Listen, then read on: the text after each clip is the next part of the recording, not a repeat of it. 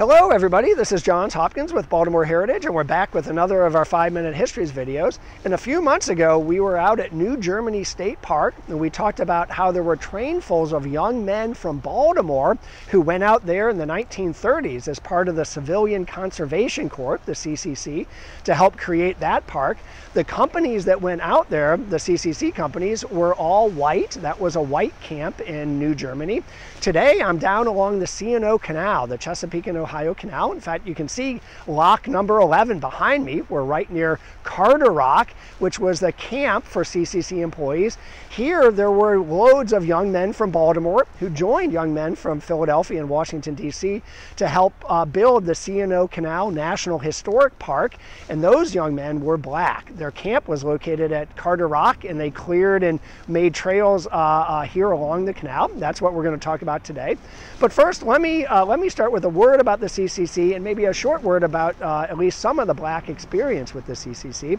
The CCC, of course, uh, started in the 1930s. Uh, Congress and Franklin Delano Roosevelt, President Roosevelt, started it as a way to provide jobs during the Great Depression. For reference, in 1933, at the peak of the Depression, some 20% of Americans were out of work.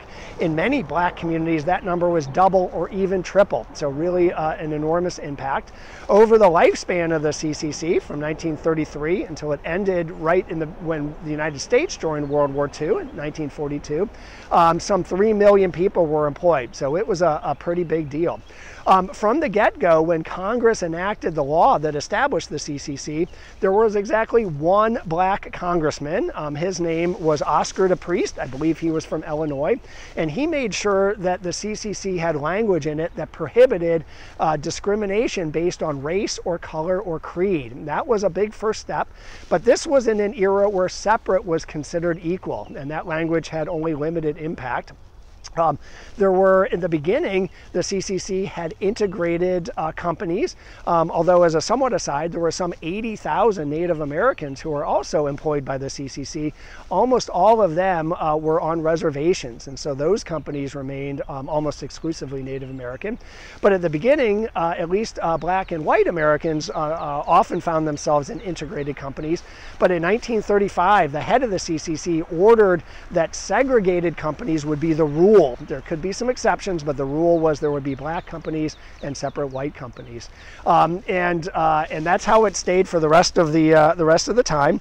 Here in Maryland, uh, we had a number of black camps. I think we had 15 total CCC camps. A number of those were were black uh, black companies. We had black companies in Cedarville State Forest in Prince George's County. Um, the men there cleared fire roads and built trails, uh, helping that state forest get going.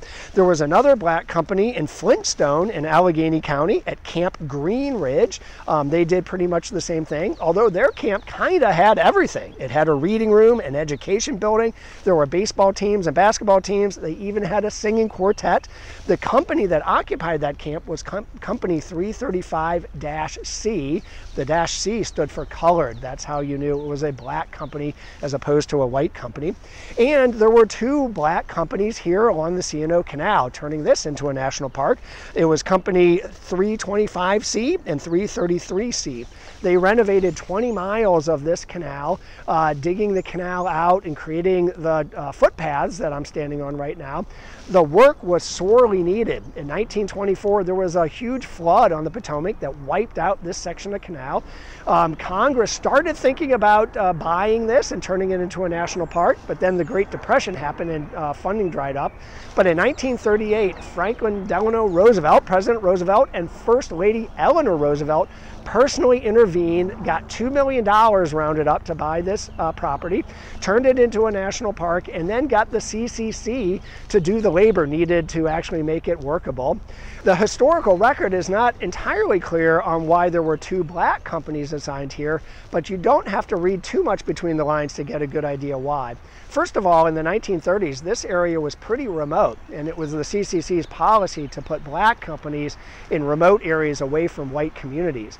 We get another another sense of that from the records of the CCC itself. As the work here progressed and people were starting to uh, come out and visit it, on weekends especially, the CCC uh, told the black employees basically to go home and they brought in white CCC workers uh, from a nearby camp. In the words of the CCC, the white workers were, quote, better adapted for this work. The work that they were better adapted for was directing uh, parking, directing traffic towards parking. So again, you don't need to read too much between the lines to see what's going on there. The second thing is at least one of the companies, I think it was company 333, was moved here from a place called the Wilderness, of Virginia. That's a Civil War site. They had been working out there. Uh, but then the uh, CCC determined, I'm going to quote them again, quote, that there was a pressing need for contact and guide services that might be met by white enrollees Basically, they didn't want white visitors to the Civil War site to interact with black employees. And so the black company was sent here. But there was a third reason they were sent here that, that didn't have to do with race, and that was their experience. At the Wilderness, um, this company had gotten tremendous experience in conservation landscaping and moving massive amounts of earth effectively and building and restoring uh, uh, footpaths like the one that I'm standing on. Um, all of those were the tasks needed to turn this uh, swampy, flooded area into a national park. Um, one more thing before I wrap up. The historical record does not have too much about the men who actually worked here. We have rosters of names, and, and that's kind of it. But we do have a few bits on a few people. Let me just read out a few of these. There was a gentleman who worked here named Sidney Halsey. He went on to move to Charleston, West Virginia, and was one of the first people in the country to uh, sign up for the Selective Service Draft. He worked in an Army hospital, unfortunately, got tuberculosis and died. There was another gentleman, Thomas Bass Knight. He, he went on to become a chief air traffic controller in North Carolina. A gentleman named Leroy Bernard ended up joining the Department of Justice as an investigator and investigated the Tokyo war crimes uh, after the end of World War II. And then there was a gentleman named Ralph Happel who went on to write one of the first histories of the National Military Park in Frederick and Spotsylvania counties in Virginia. He went on to become a historian. Um, there is a blog, a couple online blogs of people who are trying to find out more information about the CCC camp and the people who were there. We'll put a link up for that. But I'm going to close to say next time you're down here along the C&O Canal, uh, maybe uh, stop for a few minutes and pause and say a thank you to the young black men from Baltimore and Washington and Philadelphia who made this national park possible. Thanks so much, and we'll see you next time.